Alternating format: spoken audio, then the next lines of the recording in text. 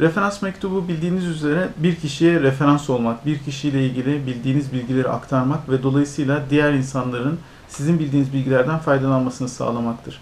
Yani bir insanla berabersiniz. Bunu sadece akademik referans mektubu olarak düşünmeyin. Akademide yazılan referans mektuplarının yanında şu da olabilir. Siz bir insanla tanışıyorsunuz, beraber çalıştınız, sadece iş görüşmesi yaptınız, sadece konuştunuz, tanıştığınız bir insan hakkında da referans yazabilirsiniz, referans olabilirsiniz.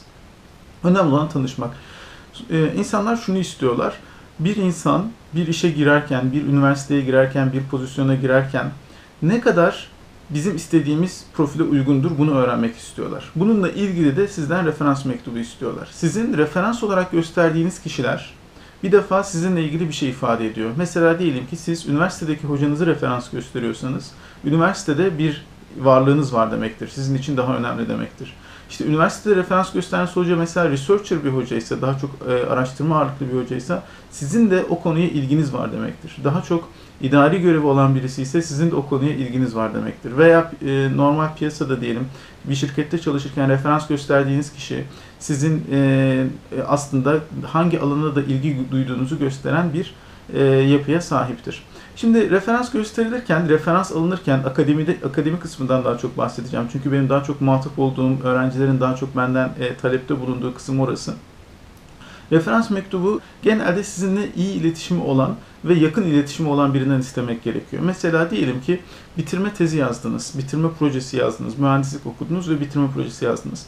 Bu hocadan referans mektubu almamış olmanız, alamıyor olmanız aslında kötü bir durum. Çünkü siz onunla bir proje yazmışsınız. Belki üniversite hayatınız boyunca tek yazdığınız proje o. Yani büyük çaptaki proje. Ders projeleri tabii e, her derste aşağı yukarı var bölüm derslerinde ama o herkesin yazdığı bir proje. Artık e, danışman hocanız olunca danışman hocanızla ayrı bir ilişkiniz oluyor.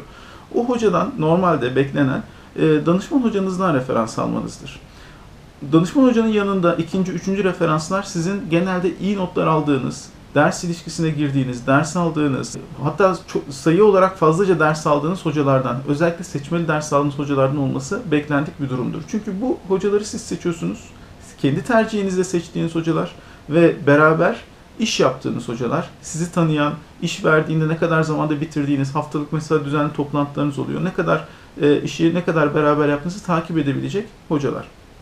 Bunun dışında, e, bu hocaların dışında tabii ki her zaman her hocadan referans alabilirsiniz. Hiç tanımadığınız hocadan da gidip referans isteyebilirsiniz.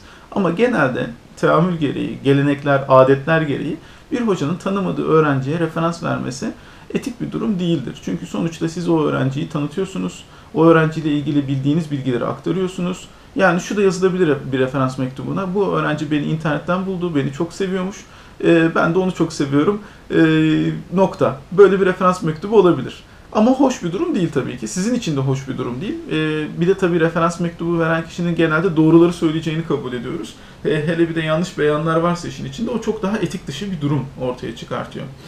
E, e, şayet bir öğrenci 4 yıllık üniversite okudunuz 4 yıl boyunca referans mektubu alacağınız birilerini bulamıyorsanız o zaman bu birazcık da kendinizle ilgili bir şeyleri sorgulamanız gerektiğini ortaya çıkartıyor.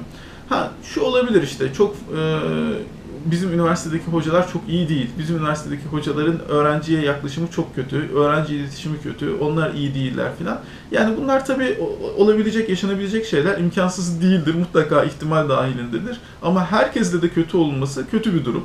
E, şayet o da olmuyorsa kendinizi geliştirin. Farklı alanlarda, farklı insanlarla çalışmaya e, birazcık eğilimli olun. E, şunu unutmayın.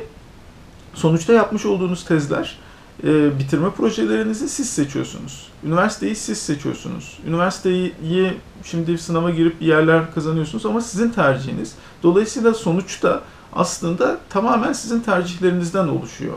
E, yani üniversiteyi kimse yani tamam bazı bölümler aile zoru şu bu filan belki istisna durumlar olabilir ama bir de tabii onun da devamında şunu da görmek lazım. O alanda akademik hayata niye devam ediyorsunuz? Yani tamam hadi istemeden bir bölüm okudun, istemeden bir üniversiteye girdin. Bir de bakıyorsunuz onun üzerine devam etmek gibi bir gayret var. Onu da istemeden yapıyorum. O yüzden istemeden referans mektubu alıyorum gibi bir durum varsa orada başka şeyleri de sorgulamak lazım hayatınızla ilgili.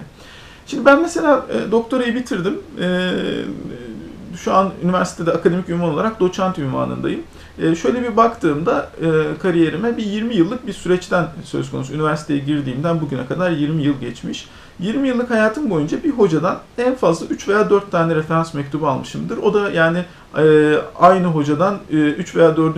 referans mektubunu da e, istisna bir durumdur. Çok fazla normalde olan bir şey değil. İşte üniversite bittikten sonra yüksek lisans, yüksek lisans bittikten sonra doktor için belki istenir. Ama şu şunu görmeniz lazım.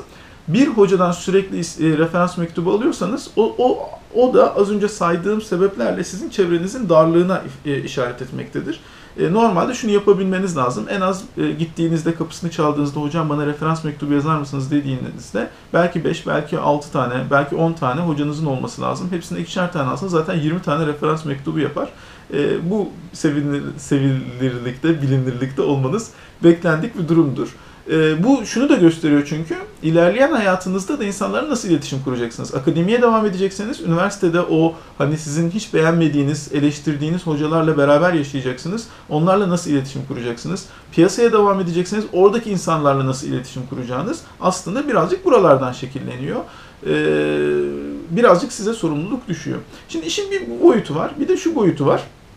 Referans mektubunu çok fazla sayıda istiyorsanız, mesela diyelim ki yüzlerce referans mektubuna ihtiyacınız var. Bir sürü yere başvuracaksınız. Bu biraz şunu gösteriyor. Çok fazla karar verememişsiniz. Kararsızlık durumu var demektir.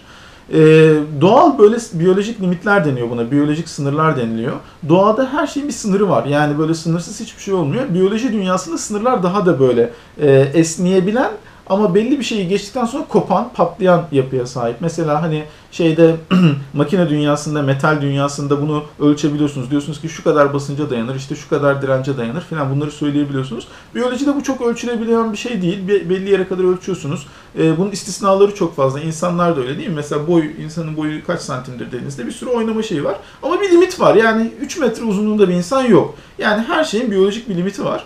Dolayısıyla bu referans mektubu da aslında biyolojik bir limittir. Sizi bir yerde e, sorgulamaya iter. Çok fazla referans mektubu istiyorsanız bir düşünüp sormak lazım. Ya ben niye bu kadar fazla referans mektubu istiyorum? Demek ki orada e, bir kararsızlık durumu var. Şuraya da başvurayım, buraya da başvurayım, şuraya da bir maymun iştahlılık durumu var. Veya şu da olabilir e, referans mektubunu kullanıyorsunuz. Tamam aynı bölüm, aynı kariyer, aynı pozisyon ama kabul alamıyorsunuz. Bir daha başvuruyorsunuz, bir daha kabul alamıyorsunuz. Bir daha bakıyorsunuz sürekli aynı kişiden referans mektubu istemeye doğru gidiyor iş. Dolayısıyla bu da şunu gösteriyor. Demek ki e, yutamayacağınız, ısıramayacağınız dokmalar peşinde koşuyorsunuz. Isırabileceğiniz dokmaların peşinde koşmanız lazım. Şimdi normalde aslında referans mektubu işi şöyle ilerlemesi gereken bir süreç tanıdığınız, sevdiğiniz bir hoca varsa ve hoca da sizi tanıyor ve seviyorsa zaten hoca sizi belli açılardan yönlendirir. Bak şuraya başvur, şu pozisyona başvur, şu kişiyle görüş, benim tanıdığım şurada birisi var git bununla konuş şeklinde zaten sizi yönlendirir. Bu yönlendirme sonucunda zaten size severek de referans mektubunu yazar o kişiye sizi tanıtır, anlatır ve genelde tanınan hocaların yazmış olduğu referans mektuplarının şöyle geri dönüşleri olur. Mesela diyelim ki ben bir referans mektubu yazıyorum.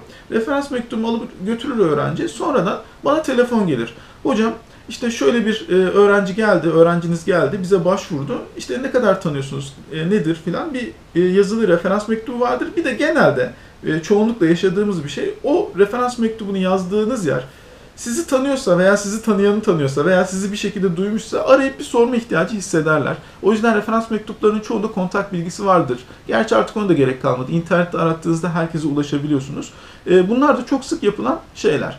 Bir de formaliteden verilen referans mektupları var. Yani bir yerlere başvurmak için 3 tane referans mektubu şart.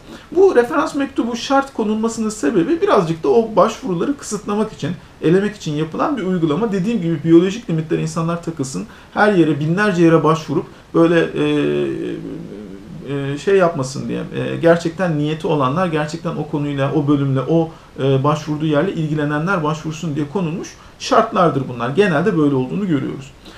E, referans mektubunu yazan kişinin sizinle ilgili yazarken söylemesi gereken şeylerden, en önemli şeylerden birisi de sizi ne kadar tanıdığıdır. Sizi tanımayan birisinin yazdığı referans mektubu da otomatik olarak düşük değerde olacaktır. Yani ben bu kişiyi çok iyi tanıyorum. Beraber proje yazdık. Projede şöyle yaptı. İkinci bir proje yazdık. Üçüncü bir proje yazdık. E, vaktinde riayet etti. Zamanında her şeyi teslim etti. Projeden şöyle bir çıktı elde ettik. Ben bir yıldır, iki yıldır beraber proje yazıyorum. Laboratuvarda yatarken gördüm bu insanı. İşte e, e, projenin sonuçlarını şuraya taşıdı, yeni fikirler bize kazandırdı gibi sözler söyleyebilmek bir öğrenci için her hocanın istediği bir şeydir. Böyle öğrenciler olmasını inşallah her hoca yaşar bu duyguyu. Ee, öğrenci olarak da sizin de bir hocayla bu ilişkiyi yaşamanız gerekiyor. Biraz usta çırak ilişkisi şeklinde o hocanın e, hayatına girmeniz gerekiyor. Hiç tanımadığı bazen öyle öğrenciler oluyor. İsmini bile ilk kez duyuyorsunuz. Hocam referans mektubu alabilir miyim? E, tamam yazayım ben nereden tanıyorum seni diye soruyorsunuz. İşte ben falanca e, sene sizden ders almıştım. Şimdi bakıyorsunuz sınıfa 300 kişi var. 300 kişiden bir tanesi e, oymuş. E, iyi de not almış. Tamam ama tanıma şansınız yok. Yani bir de kendinizi hoca yerine koyun.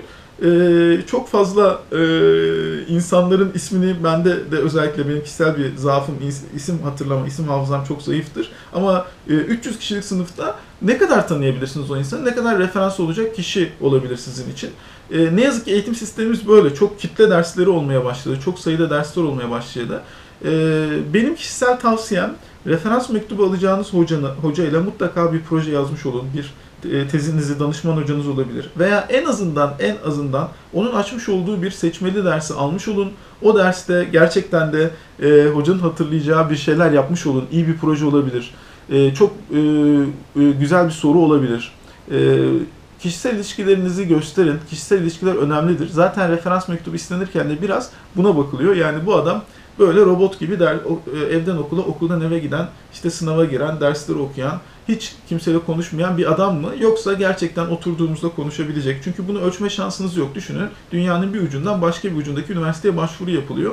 E şimdi normalde biz diyelim ki Türkiye'de yüksek lisansa başvuran veya doktoraya başvuran adayları e, çağırıyoruz bir mülakat yapıyoruz. O mülakatta nasıl konuşur, oturur mu, iki lafı arka arkaya getirebilir mi? Hani böyle nerd denilen tipler var ya, adamın ağzından salyalar akıyor, kendini toparlayamıyor, hareketleri falan garip. Çok zeki bir adamdır belki, hani ona da ihtiyaç var. Ama şunu görüyorsunuz yani, e, bu adam ne kadar nereye gider, ne yapılabilir bu adamla onu bir ölçme şansınız oluyor. E, şimdi bunu ölçmek istiyor insanlar. Sonuçta saatlerce belki bir laboratuvarda o adamla oturacak. E, bu adam kimdir, nasıl bir insandır bunu anlamak istiyorlar. Bunu anlamak için de istenen şeylerden birisi referans mektubu. E, dediğim gibi bu işin çok e, uçları var. Bir tarafta tamamen evrak kaydı olsun diye ya istendi evrak hadi bir tane biz de isteyelim. Bak herkes 3 referans istiyor biz de isteyelim diye istenen bir evrak var. Dediğim gibi bunun amacı birazcık daha e, başvuruların sayısını azaltmak ve gerçekten ilgilenen kişileri e, başvurusunu sağlamak. Orada da gene anlaşılabilir bir amaç var. Diğer tarafta gerçekten bu adamın kişiliğini, karakterini hatta bu sonuçta akademik network, akademik bir sosyal ağ var ortada. İnsanlar akademisyen olarak birbirlerini tanıyorlar e, onu ölçmek.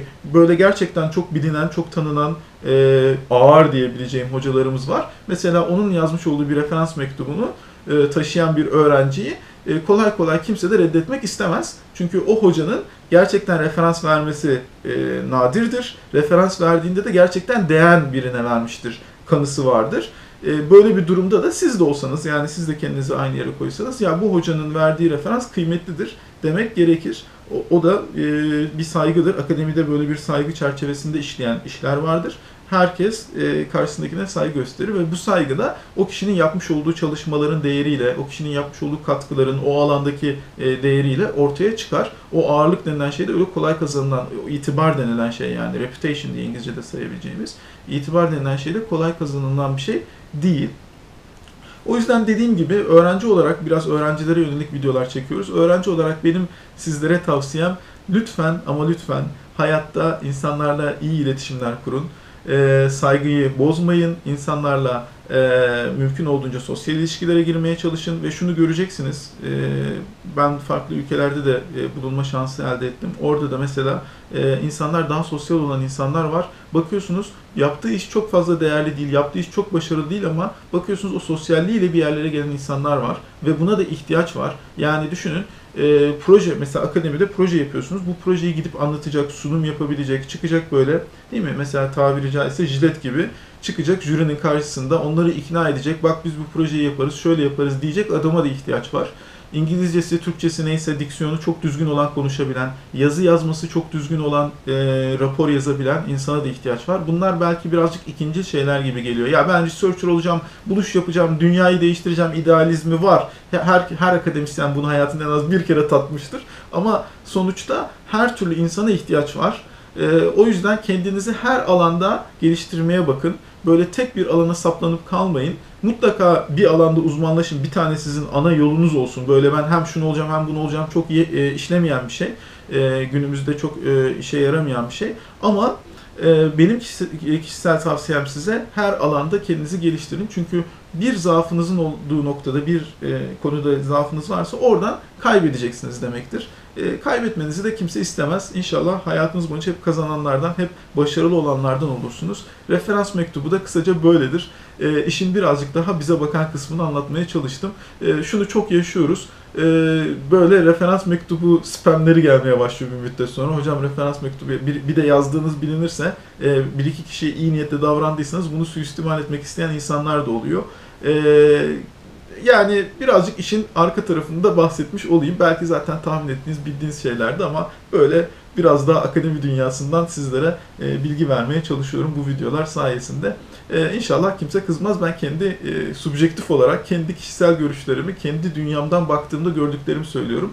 E, dünyanın başka bir yerinde başka bir insan farklı görüşlere sahip olabilir. Her zaman saygım vardır. E, bu da benim gördüklerim. Evet herkese başarılar dilerim. İnşallah iyi referans mektupları alır ve iyi yerlerden kabuller alırsınız. Başarılar.